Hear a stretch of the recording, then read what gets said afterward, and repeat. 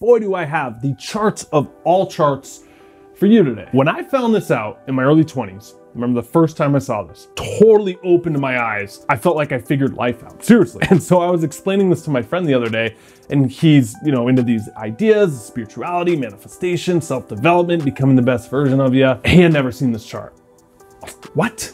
You never saw the chart? So it got me thinking, oh, I bet there's some people on YouTube who haven't seen the chart as well. So let's talk about the chart. Drinking game, take a shot every time I say chart. This chart's going to explain why you do the things you do down to every little life decision. You're basing it on one of these five tiers. At the end, I'm gonna draw another chart for you at home that I think you'll be familiar with. This is gonna connect a lot of those neurons in your brain. They're gonna fire and wire together. Here we go, quick plug. We have very limited space in our metamorphic coaching program. So if you've ever wanted to join, now is like the best time. We're raising the price another 500 bucks pretty soon. So it's pretty much like you save 500. Uh, scroll down, apply for our coaching program, speak with someone to see if it's even a good fit for you. Because we don't know. Um, they're going to know your situation, all the ins and outs way more. And uh, we'll see if we can help you. Don't read this, don't cheat yet. In 1943, there was this positive psychologist, he was a Russian, named Abraham Maslow. He's one of the granddaddies of positive psychology, which is pretty much saying, hey, up until this point, we're really good at making sure people don't become miserable and like keep going down. So we can get people from like negative 10, they hate their life, they're depressed, nothing matters. We can bring them up to like a zero, right? And kind of hope, you know, there they go. Hope, hope everything works out. But what we haven't gotten good at is taking people from a zero, getting them to five, six, seven, 10 and beyond. So that's where positive psychology comes in. It's a lot of what we talk about. It's essentially what self-development is, or what it was supposed to be, kind of in the 80s boom and the 90s boom. And one of the pioneers of this was Abraham Maslow. He was 35 when he came up with this chart right here called Maslow's hierarchy of needs. Now, this is where he was trying to figure out what is the meaning of life? What is the purpose of life without a spiritual explanation? More of a secular explanation. He distilled it down into five needs that you are on a spectrum of any given time on one of these five needs. And just like any other good theory, it has a pyramid to go with it. The very first need, we're going to breeze through these and then I'm going to tie them back to you. And at the end, I can't wait to bring this all together. Very first need is that of survival. Your survival needs oxygen, water, food, safety. These are pretty freaking important, aren't they? And biologically, this makes sense that these are the base of the triangle, the most important, because it doesn't really matter these higher ones that we're talking about here, which are going to be super relevant to where you're at. These don't matter if we're running away from a tiger and, you know, there's so much danger or we don't have any water or food and, you know, we don't even know how we're going to feed ourselves. Met, you move up into safety needs. These aren't like red alert emergency.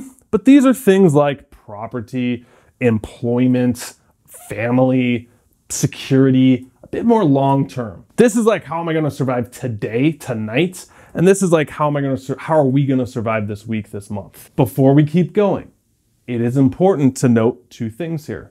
Maslow would call these the need of the body, maybe? I, I might be messing that one up. And these are the needs of the spirit. Okay, so these are like I guess the 1.0 you is what we would call it. These are the needs of the 2.0, that highest version, that next iteration of you. Now, I know what you're thinking. You're like, this is the second thing I want to tell you. You're like, Clark, well, okay, let me just get rid of these and I'll just focus on these, give me those, and then I have the meaning of life figured out. What Maslow took his whole life to do, I can just do in two months. Not so fast. See, no matter what stage we're at, we all have these five needs. Even me right now. Even me, the most enlightened guru on YouTube. You know what I mean though? Like we all have these needs. They don't go away. That's why they're a need. Just because you're enlightened, you still gotta eat. You still gotta drink water.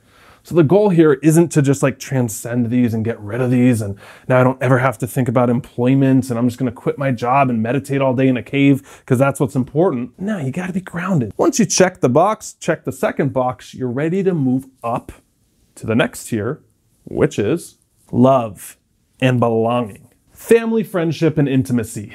One thing I want to point out to you that's very fascinating. What are the biggest companies in the world? Okay, like public ones that you would know about. Where are they on this pyramid? We haven't even gone over these, but they've revealed themselves, haven't they?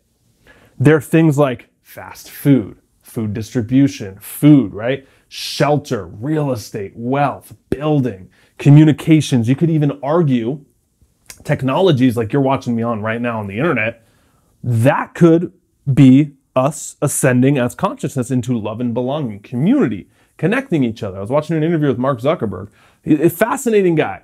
Um, I'm not here to put anyone down. I'm not here to judge anyone. I'm not going to go into conspiracies. Say what you will. You know, we all have our, our quirks about us. But I was watching his interview he was doing with, I think it was Gary Vaynerchuk, uh, about the metaverse. And he was saying that when Facebook, he kept saying what Facebook's been meant to do all along, which is connect each other, deepen human connections, I think was his exact wor- verbiage.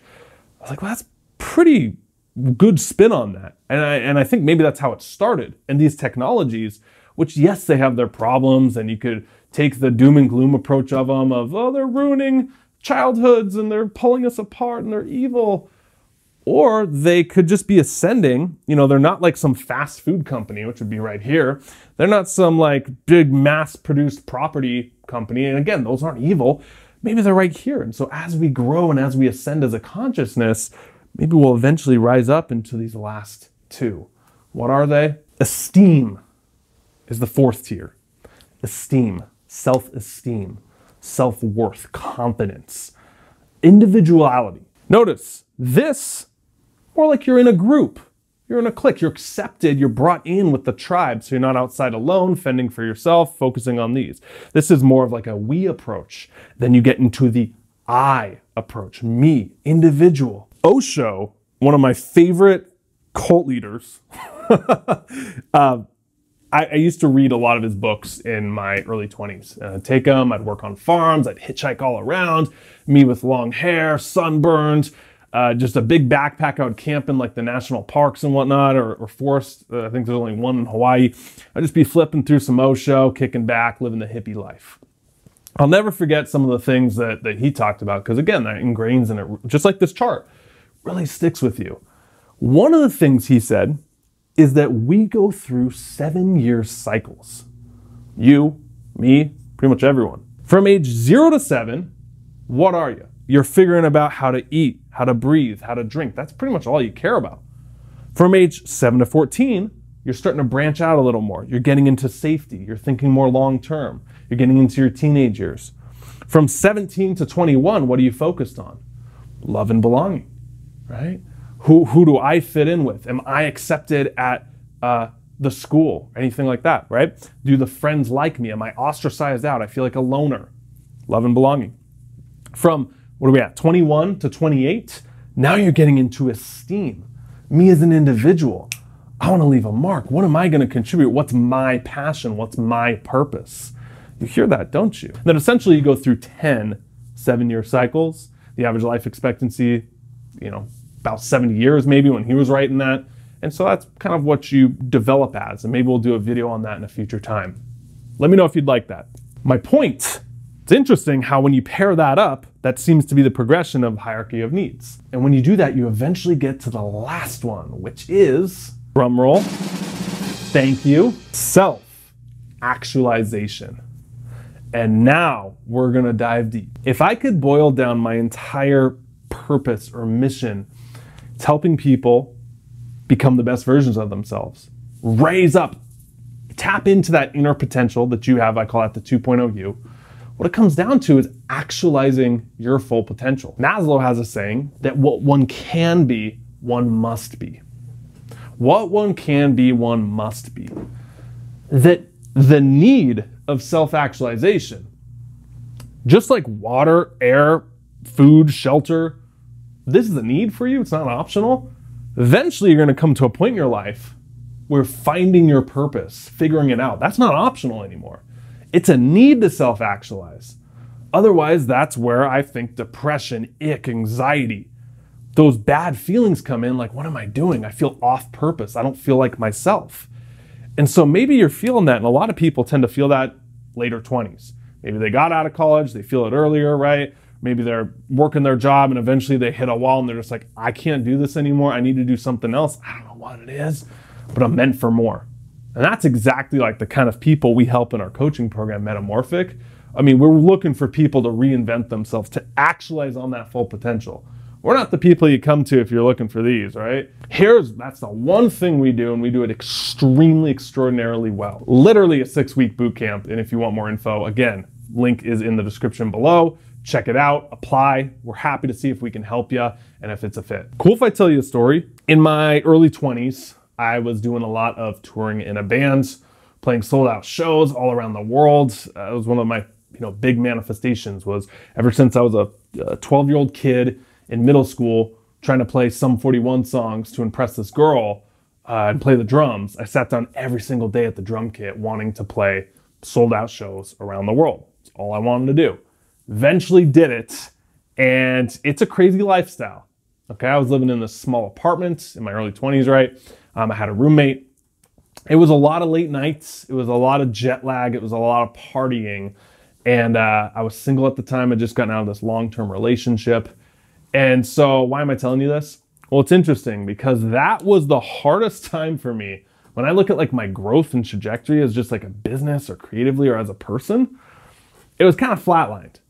Okay. And I'm like, why did those years, why were they so flatlined?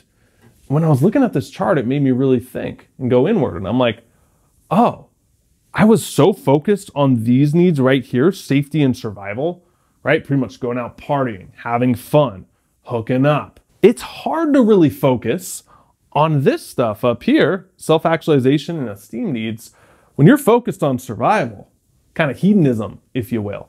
I'm not here to judge you if, you know, we all go through stages. Um, I got some friends who are in the most loving way, complete degenerates when it comes to like just going crazy and, you know, I'll see them online and I'm not at that stage of my life anymore.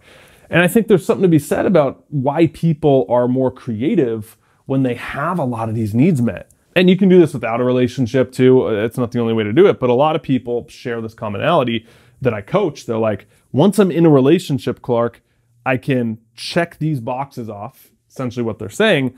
And now I feel like I can focus on myself and I can actualize. It's almost like you have that safety net checked off. It allows you to take more risk. Because if everything's up in the air all the time, 24 7, 365, it's kind of hard to take a lot of risk if you have a risk in your relationship and a risk in your personal life and a risk in your business, well, guess what? Each one of those buckets is going to add to the stress and compound, and no wonder you can't take any risks big time. So, getting a lot of this stuff checked off first actually allows you to be more creative and actualize. When I was researching before this video, there was one need, a sixth tier, that was even beyond becoming the best version of yourself, finding your purpose. You know what that was? It's right here in the halo. Self transcendence. Doing it for a bigger reason than just yourself. How do I get more subscribers? The wrong question. How do I impact more lives? Get more testimonials, impact people, get more stories, spread the message? Self transcendence. How do I make money a million dollars? Wrong question. Nothing wrong with it, but it's operating from here. Self transcendence how can I impact the masses on a mass scale and get compensated very well for doing it? Self transcendence. It's almost more like altruistic.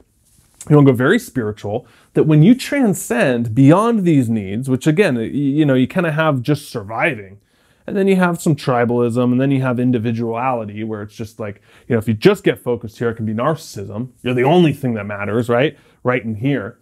But again, these are these are better. You get into this, right? You ascend up, which is that all are one and one is all. That there is no good and evil. That it's just, you know, duality almost disappears in the scope of infinity, where it is infinite. There isn't really light and dark, night and day, up, down, east, west. It's just all part of the one. As a thought exercise, just go as big and big and big and big and big as you get eventually you'll just come down to the realization that it's all one. Unity, much larger conversation for a different time.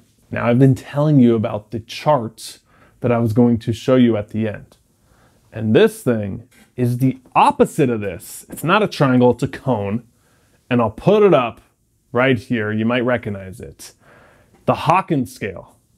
Isn't that cool? As you have self actualization, what do you have? The higher scales of consciousness. As you have more survival down there, what do you have? Shame, guilt, anger, fear. Those are literally your survival needs or suffering vibrations. Look at this. When you're self actualizing, if we're using that one to one, that's some of the most high vibe activities that you can do. And then when you're just so consumed in getting by and surviving, yeah, you're going to feel low vibe. See how these go together. And I think this is kind of like a more Western approach to it, which is more like psychology based, research, positive psychology, right? Uh, this is more of a spiritual explanation, consciousness. And they can go together. If you want a six week roadmap on how to actually do that, click the link below. Go see if our coaching program is something that you could see yourself getting behind. Love to invite you into the family. I work with every single client. I'm there, you're there. It's a really tight knit community. It's not like it's just thousands and thousands of people and you're some nameless person. We really work with you on a personal level. There's a lot of interaction and whatnot with myself and some other coaches as well. Take care of our clients in that way. Um, so I'd love to have you invite you into the community, or if you're just looking for a challenge, you feel like things are kind of stagnant. Um, work with a lot of people out of a transition of a job. Maybe they're getting out of a relationship and they're trying to reinvent themselves. They're, they're really not trying to, you know, just look for things and other people to make them happy. They're ready to start doing some of that inner work and that introspection. But I mean, a lot of this, I say it all the time, education out there can be entertainment at the end of the day if we're not using it, right? And so that's why we give you the six week roadmap that I designed. And um, we go super deep. You even experience some NLP and whatnot. So get in there and rewire that subconscious. That's in the link below. Would love to have you there. Thanks so much for being here. Until next time, stop settling, start living. See ya.